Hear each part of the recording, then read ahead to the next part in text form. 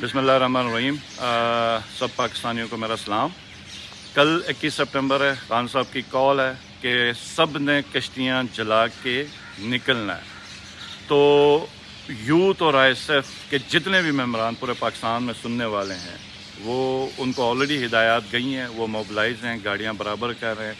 जितनी कुछ उनकी अवेलेबलिटी है, वो कल लाहौर में आप लोगों के पास मौजूद होंगे। हम सब भी इन ताला लाहौर में आएँगे। के पी से एक बहुत बड़ा काफ़िला अली अमीन साहब लीड कर रहे हैं और यहाँ का जो माहौल है, मैं देख रहा हूँ कि सब जज्बे के साथ हैं और बेताब हैं कल सुबह निकलने के लिए। लेकिन जो सबसे अहम है, जो फैसला कौन होना है, वो लाहौरियों का जिंददिलान लाहौर का फैसला होना और पूरा पाकिस्तान कल देख रहा है ये जो दो साल की पूरी बेशर्मी है इसका अंजाम कब होना और इस, ये फैसले की घड़ी लाहौर के जलसे वाले दिन होगी और कल का दिन फैसला करेगा कि पाकिस्तान ने एक हकीकी आज़ाद पाकिस्तान बनना है।